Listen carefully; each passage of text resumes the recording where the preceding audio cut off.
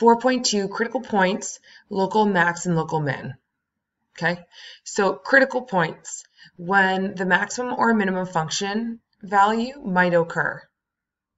Okay, and then that's at the point C, comma FC, or in other words, like X, comma Y, X, comma F at X, however you want to write that. Okay, same thing, either when F prime at C equals zero or, or when F prime at C is undefined.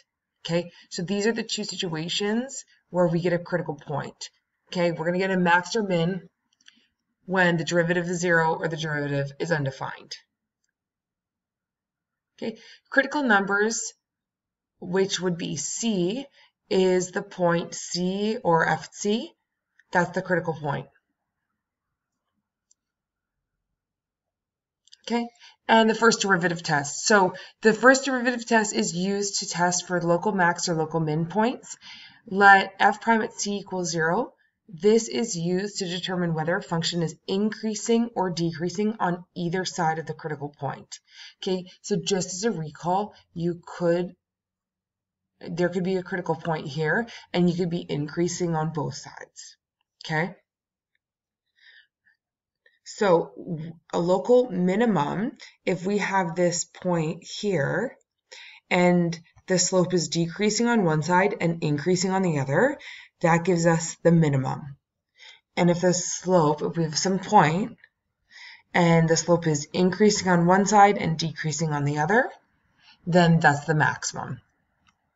Okay, but specifically in that order, decreasing, increasing, increasing, decreasing. Okay, so when moving left to right, and don't forget left to right is how we re read graphs okay, through x values, if the derivative sign, uh, if the derivative changes sign from negative to positive at that point, then there's a minimum. If the derivative changes sign from positive to negative at that point, then there's a local maximum. And if the derivative equals zero, this may imply something other than a min or max, such as, or at that point, such as the derivative does not exist at that point, or such as a cusp or a corner. Okay, and then here's a recall note. Critical points that occur when the derivative equals zero, so dy by dx, give the locations of horizontal tangents on the graph of the function. Critical points that occur when the derivative dy by dx equals undefined give the locations of either vertical tangents or cusps, okay, where no tangent exists. So as a recall, I'm going to recall, um, I'm going to give you an example of a vertical tangent. But um, local max and min values of a function are called local extrema.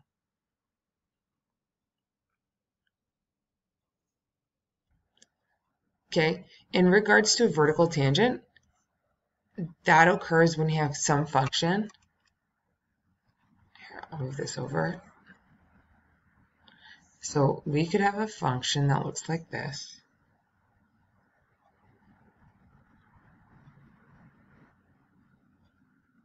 Like that. And just for a split second right here, there's going to be a vertical tangent.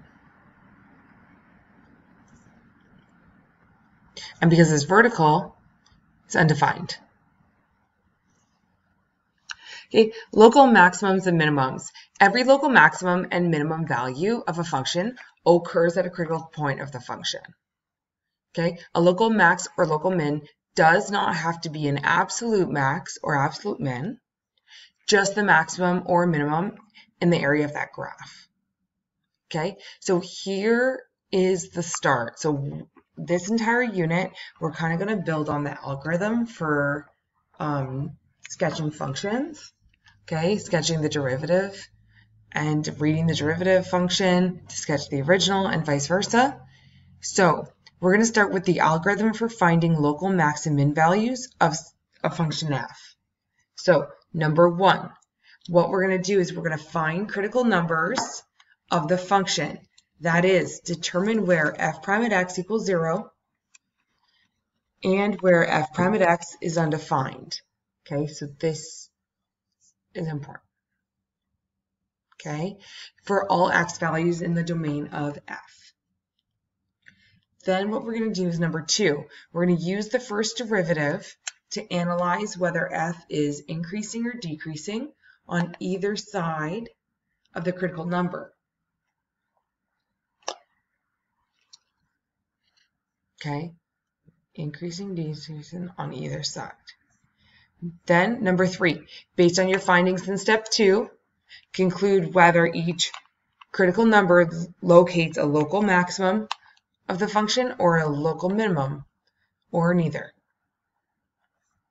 Okay, so example one, for the function y equals x to the 4 minus 8x cubed plus 18x squared, determine all the critical numbers. So I'm going to rewrite this at first, x to the 4 minus 8x cubed plus 18x squared. To find critical numbers, we know that we have to find the derivative. So let's go dy by dx. Let's use that notation. Okay, so we get 4x cubed minus, bring the 3 down, 24x squared, bring the 2 down, plus 36x. Okay, and then what we want to do is we want to determine, number one, where the, when that equals 0. So simply set it equal to 0.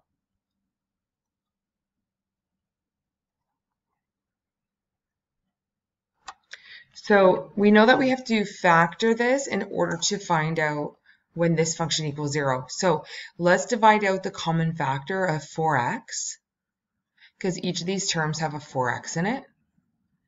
And then we get 4x, and we're left with x squared minus 6x plus 9. Okay, so for this trinomial, what two numbers multiply to 9 and add to negative 6? So what are the factors of 9? 1, 9, 3, and 3. So we're going to get two factors, x minus 3 and x minus 3.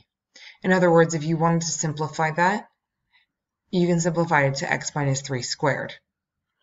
Now, the two critical points are when 4x equals 0 and the other bracket, x minus 3 equals 0. Okay, so the critical points that we have are x equals 0 and x equals 3. Okay, to find the actual point. Um, so we have 0 comma, that's going to be 0 comma 0. And then we have 3 comma, and we want to sub that 3 back into the original. So the original up here. Okay, there is an x term in each of these. That's why we have 0 comma 0. When we sub the 3 in here, so 3 to the exponent 4 minus 8 times 3 cubed plus 18 times 3 squared, we get the answer of negative 269.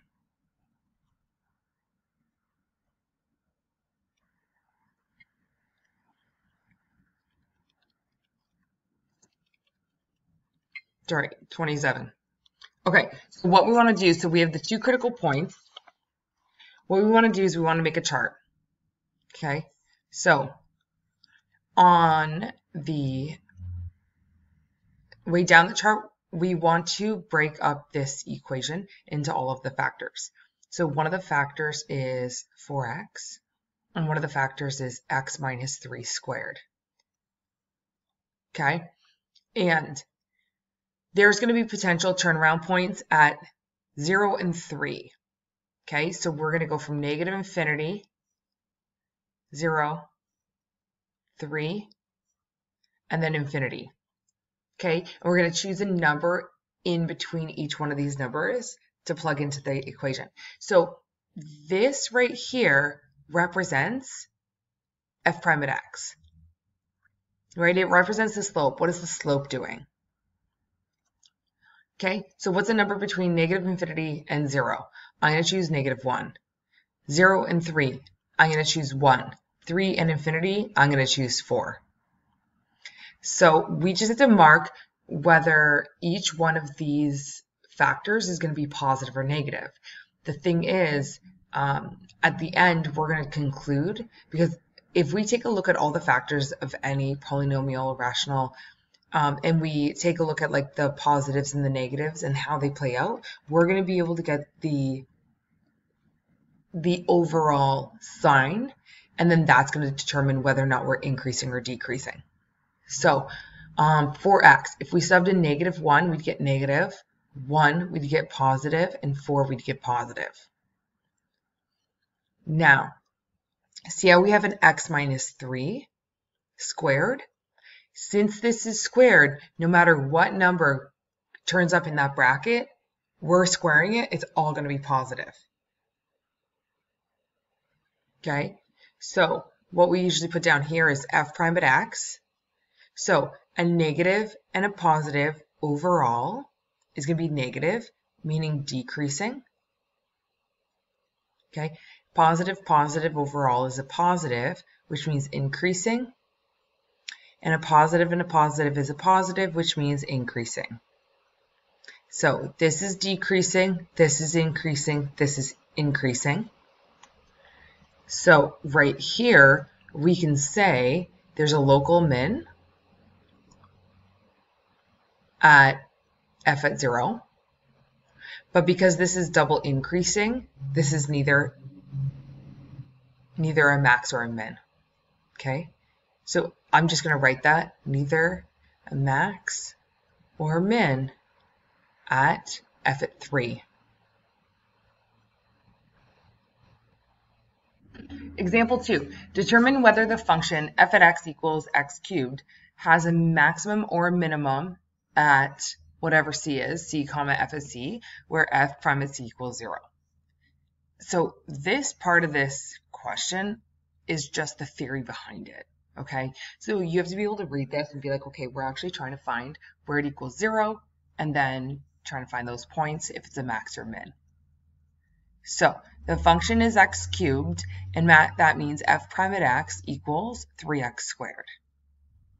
If we're going through the algorithm, 0 equals 3x squared, okay? If you don't know that this is x equals 0, you can divide by 3 and then square root both sides, and you're going to get 0 anyway, okay? Okay, so this is 0 comma 0. Okay, when you sub in 0 for x cubed, we get 0. That is our critical point. Now let's make the chart. So we're going to go from negative infinity, we're going to have a potential max or min at 0, and then we're going to go to positive infinity.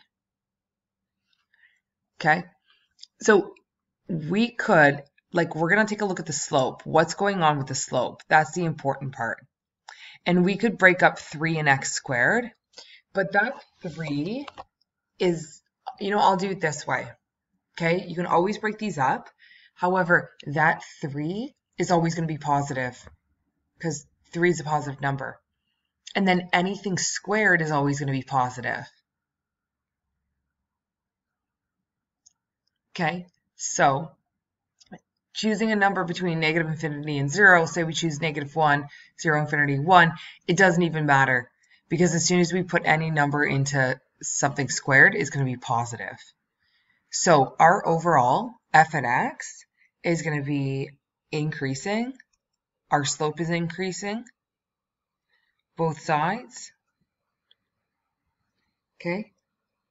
That means it's going up. So this is also neither Max Norman.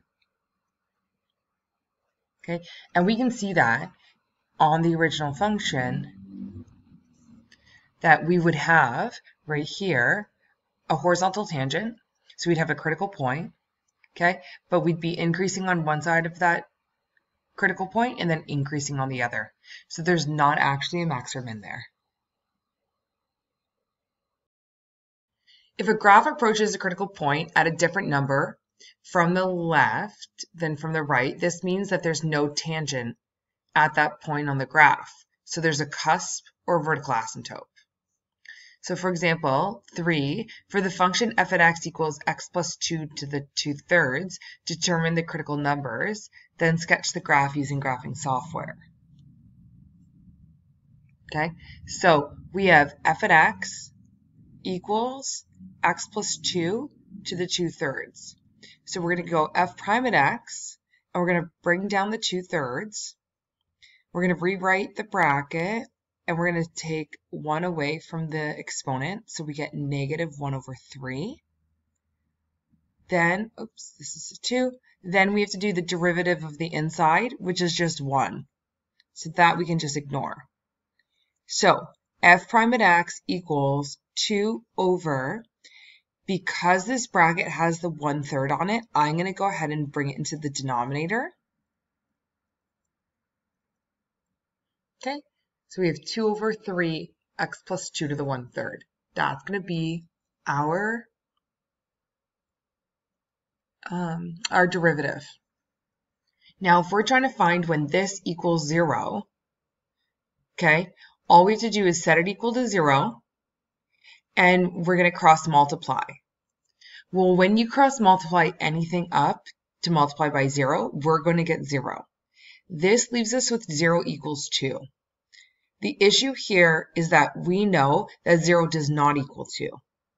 And what this means is that there's no critical point. Okay, or we can say it's undefined at x equals negative 2.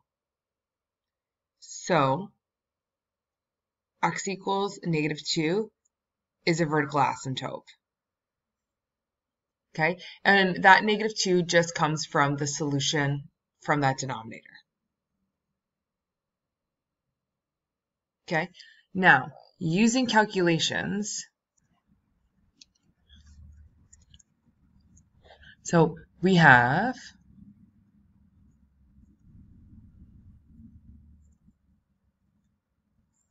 Okay, so what if we had for the x value, because remember we're looking at x equals negative 2, right? So on the left side of negative 2, we're going to have negative 2.001. And on the right side of negative 2, we're going to have 1.999, sorry, negative 1.999. So if we looked at the derivative at these two points, what we're going to get is we're going to get negative 6, 6, 6, 6, 6, 7. And we're going to get 6, oh, I think the period's here, 0.66667. Okay, what does this mean? This means that x approaches negative infinity one way and x approaches infinity the other way.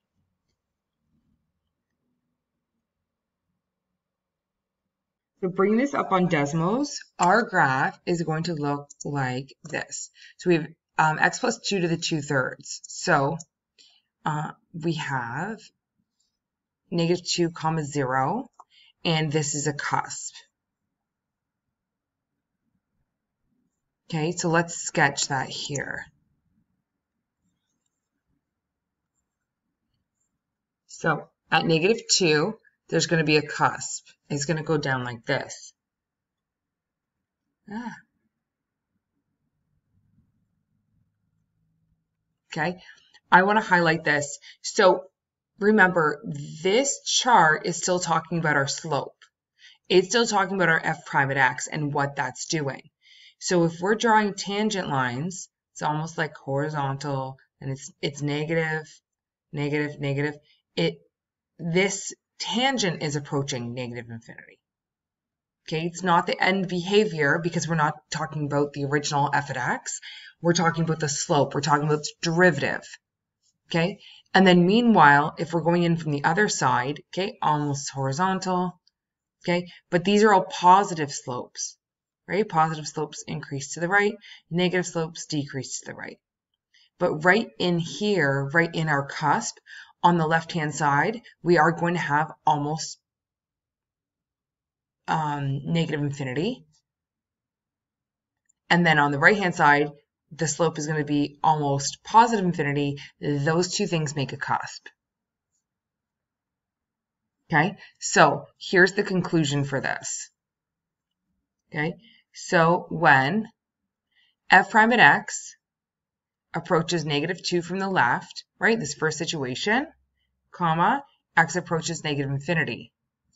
And when x prime, f prime at x approaches negative 2 from the right, comma, x approaches positive infinity. So therefore, there is a vertical asymptote at x equals negative 2. Okay, so right at that, that x equals negative 2, there is no tangent, but it's still a critical point. So there is no tangent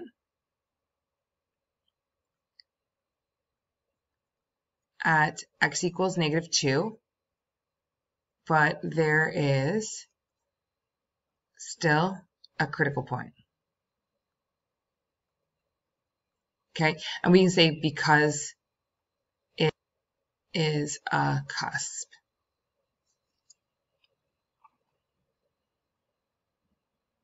So critical numbers and local extrema. The critical number C determines the location of the local minimum value for a function f if f at c is less than f at x.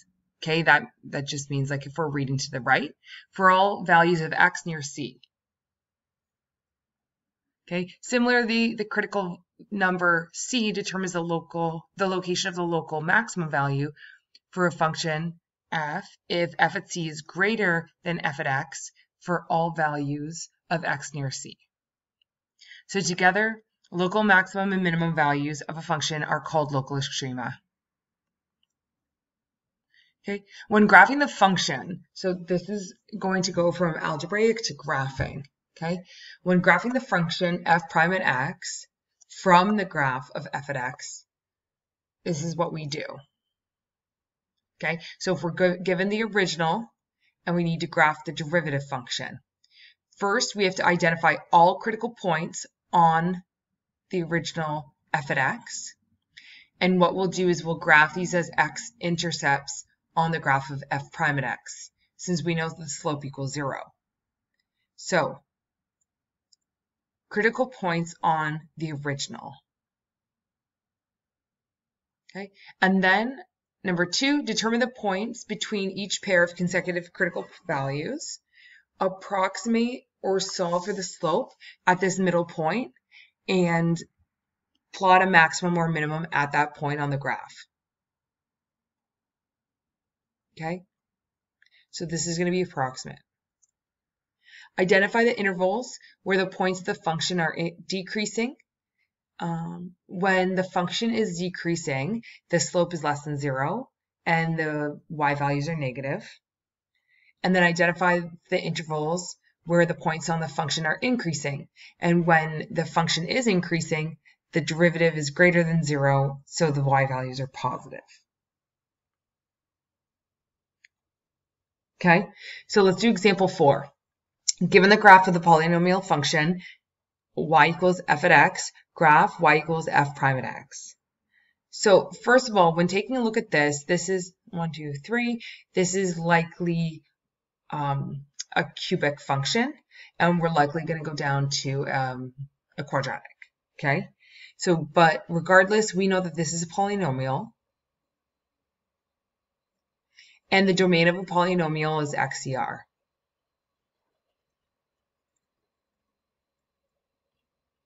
Okay, we also know that it's continuous. Okay, so we don't have to worry about cusps or vertical asymptotes. Well, cusps are continuous, but we don't we don't have to worry about those horizontal asymptotes either. Okay, because it's a polynomial. So, if we think about it, taking a look at f at x, when we locate the max and mins, so for example here and here, how that translates to our f prime at x graph is that we are going to draw those as x-intercepts.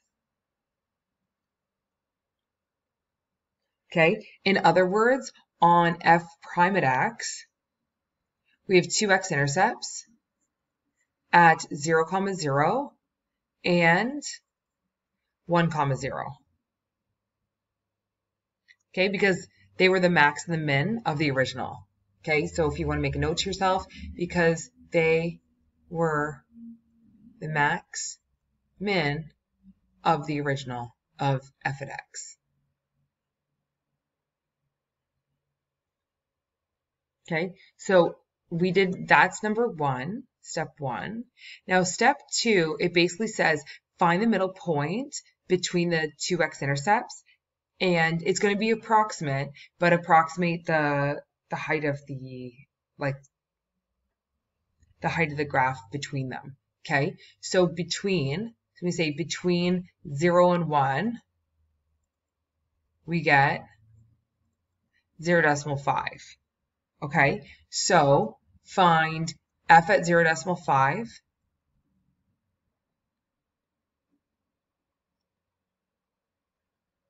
So because we don't have an equation, we can locate the f at 0.5 and approximate the slope.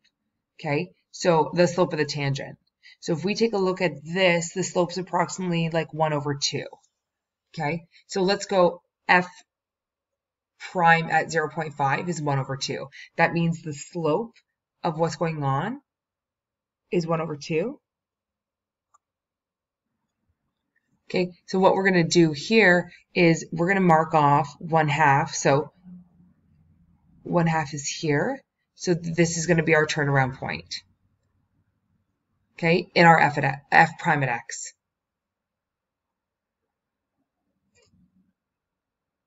Now, we're going to think back to what we did uh, in 4.1, and we're going to consider when f prime at x is less than 0 and when f prime at x is greater than 0.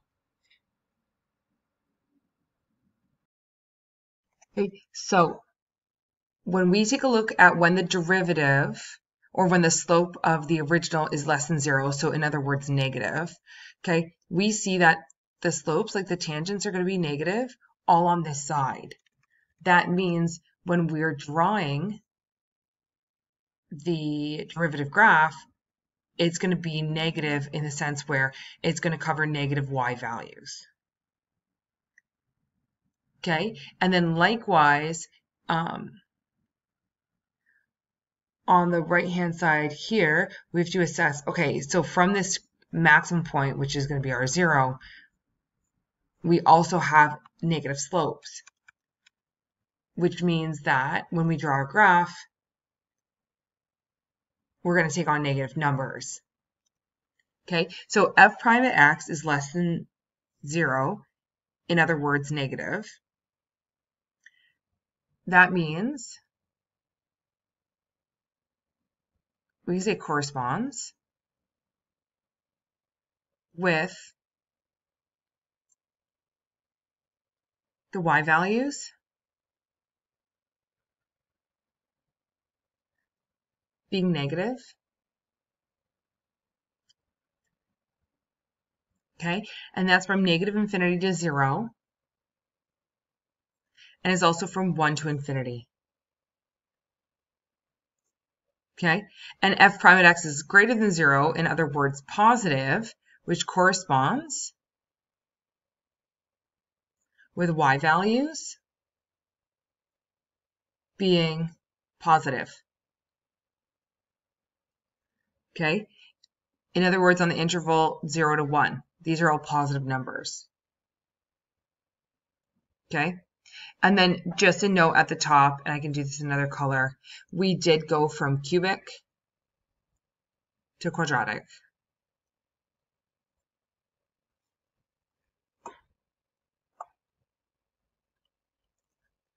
So if we have a cubic f at x, our f prime at x is going to be quadratic. One degree left.